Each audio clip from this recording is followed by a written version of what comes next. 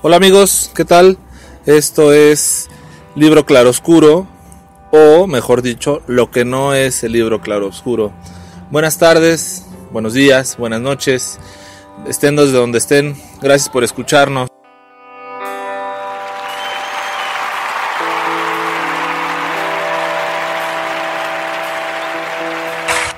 Pues bien, este pequeño audio que escuchamos de fondo es de el split eh, Cerrando Ciclos. Son cinco bandas, entre ellas la de nuestros amigos Outlet, o Outlet, como dicen ellos, eh, en el cual eh, pues hicieron una canción cada una de las bandas para darse un poquito más a conocer. la estaremos utilizando en nuestros programas de manera sucesiva con la anuencia del baterista Moy que nos hizo favor de rolárnosla pero queda muy bien si se ponen a escuchar un poquito. Eh, tiene un poco el sonido de Austin TV o alguna de estas bandas indies.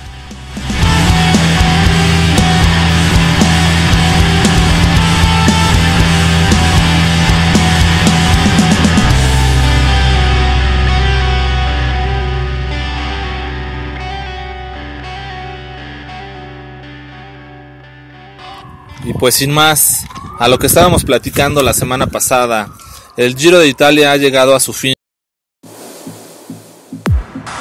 El ganador Tom Dumoulin, el holandés de Maastricht, se lleva la Giro en la última etapa, eh, una, con, una cronometrada, una contrarreloj del Autódromo de Monza a la ciudad de Milano.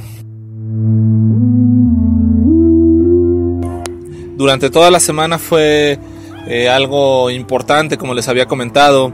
Eh, la montaña se hizo presente y empezó con sus primeros embates. El martes eh, a Tom Dumoulin le pegó en el estómago en una toma muy curiosa. De repente se va como se rezaga un poquito, se orilla en la carretera, se vuelca arriba el maillot se desprende del culot y pues bueno, ya iba a hacer sus necesidades y los camarógrafos no entendían un poco la situación, se les hacía muy extraño que en plena carrera un ciclista se detuviera para poder hacer sus necesidades fisiológicas. Él lo comentó posteriormente, tenía ahí un malestar, tenía realmente la necesidad de hacer del baño y pues hasta que lo pudo hacer consiguió rodar, en la bajada atacó como debía de ser el tiburón Nibali le sacó unos segundos a Nairo y Dumoulin eh, hasta en esa etapa no había perdido todavía la, malla rosa. Eh, siguieron las etapas de montaña y entre el jueves y el viernes alcanzaron a sacarle ahí una, unos segundos a Tom Dumoulin. en, en, la etapa del viernes Dumoulin lo dijo, ¿no? Este, ojalá no queden en el podio ni Nairo ni Nibali, se han visto muy cobardes, me han hecho un poco la estrategia y así parecía, ¿no? Que entre los dos no se iban a hacer daño, nada más querían pues quitar de frente a Dumoulin. Dumoulin eh, mostrando una gran categoría y pedaleando con mucha fuerza, resistiendo los embates en la montaña, poco a poco fue cediendo segundos para perder la malla rosa y que al fin la tuviera Nairo Quintana el viernes. Eh, ya para el sábado consiguieron sacar unos segundos más, ya estaba cercano al minuto Nairo de Tom Dumoulin.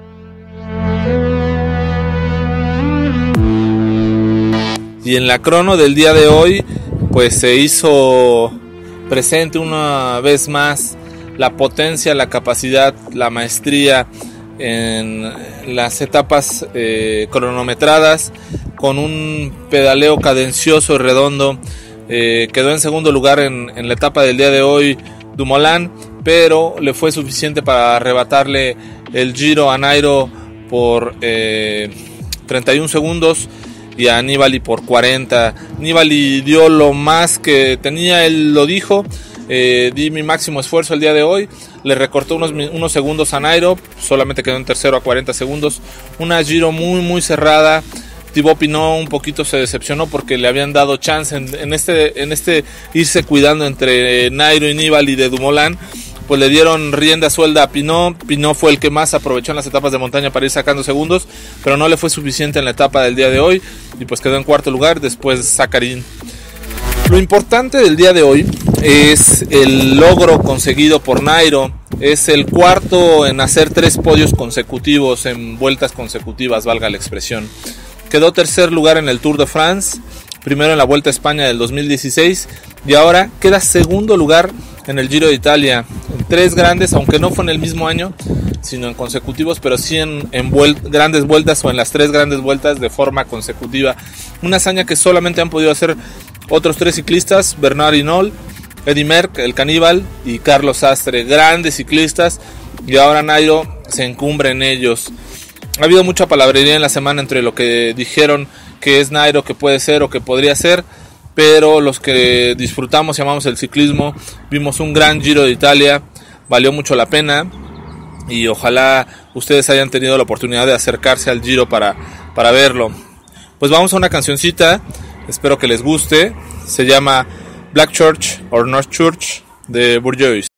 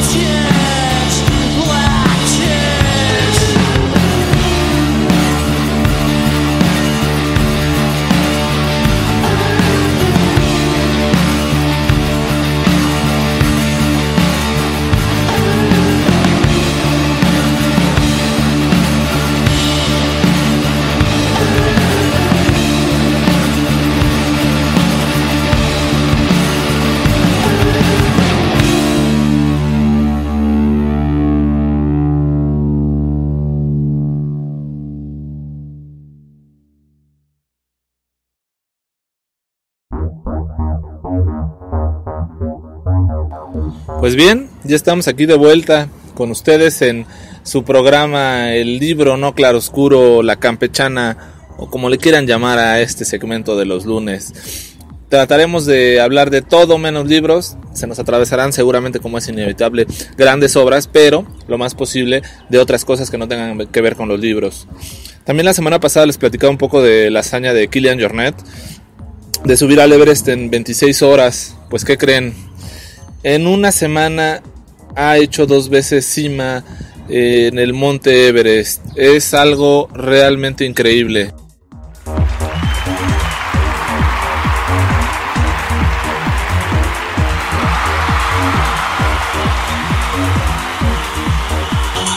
Expediciones comerciales eh, llegan a ser en teoría algo así como un campamento base de 40 días más o menos para que puedas tocar cumbre en el Everest.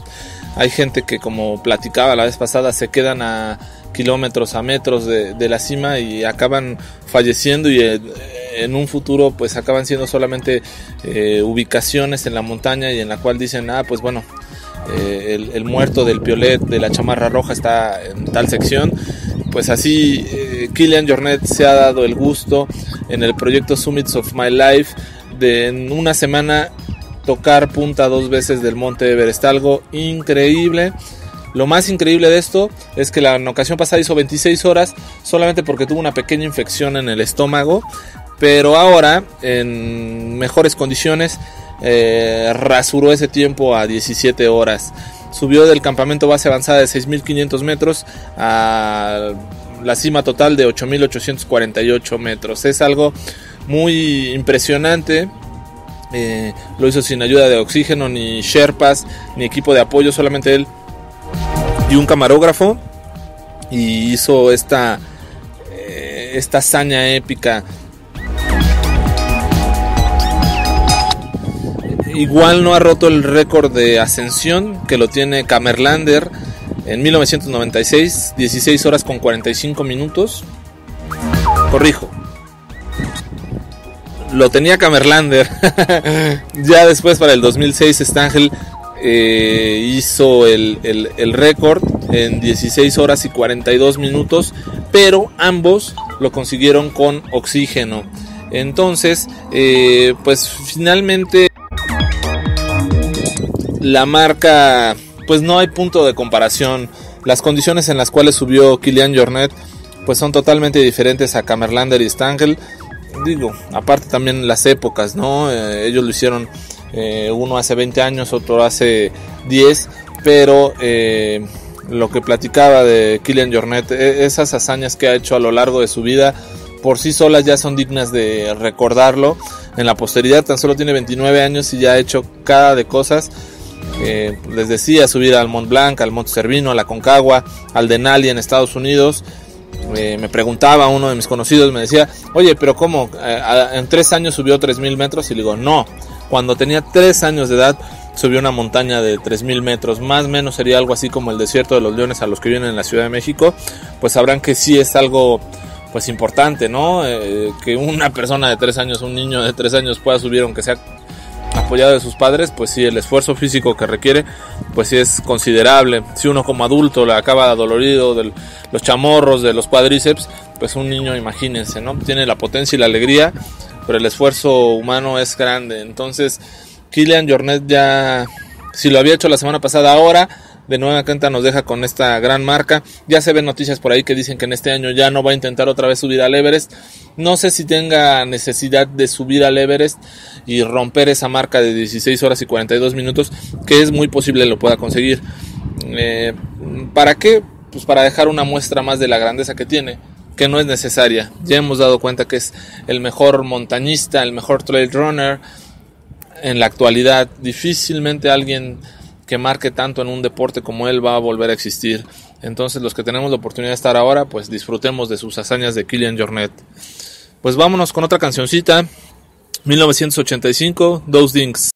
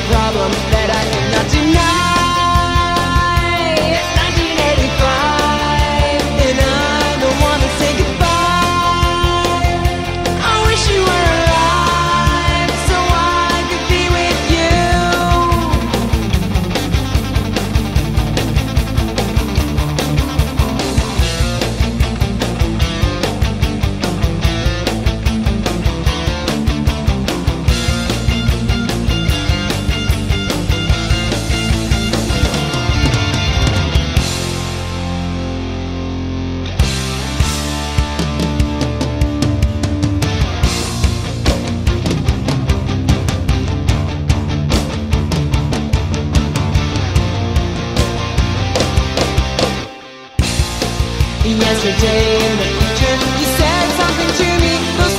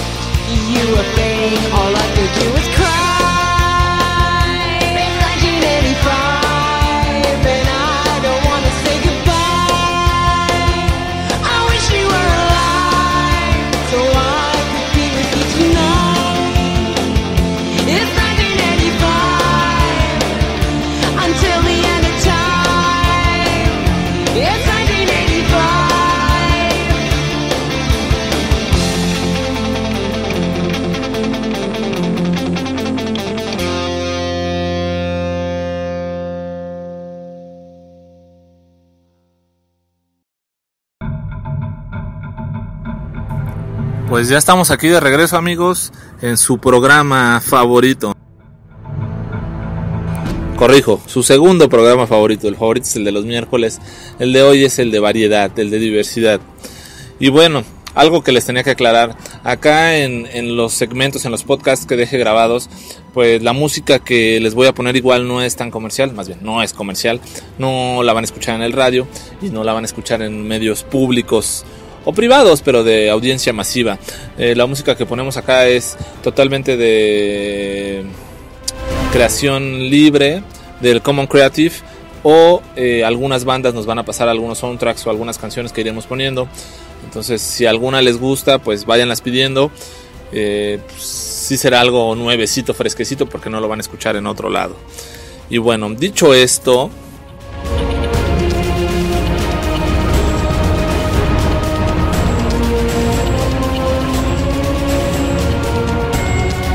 vámonos con lo que nos interesa. El libro del cual platicaremos el miércoles se llama Sostiene Pereira, del italiano Antonio Tabucci. Este Antonio Tabucci eh, se especializa mucho en la literatura portuguesa y en especial en la Álvaro Campos, que es un heteronomio, heteronomio perdón, de Fernando Pessoa. Fernando Pessoa, el más grande escritor portugués, tuvo más o menos 72 heteronomi heteronomios y uno de ellos era Álvaro Campos. Pues bien, Antonio Tabucci se especializó en Portugal, en la obra de Pessoa, en Lisboa, se casó con una portuguesa, por ahí del 2004 le dan la nacionalidad portuguesa, pero fue un referente en la literatura italiana y en la literatura portuguesa. Aprendió portugués para poder leer a los grandes, Eca de Queiroz, eh, Pessoa en su idioma natal y poder entender un poco más de qué va la obra. Entonces bien, pues ya están advertidos de qué vamos el, el miércoles para, pues si nos hacen el favor de nuevo de escucharnos, pues poderlo hacer así.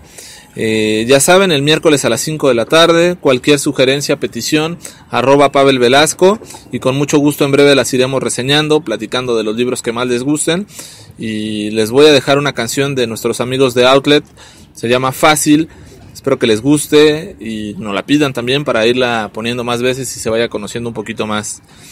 Pues buenas tardes, buenas noches, buenos días, nos estamos escuchando por acá el miércoles.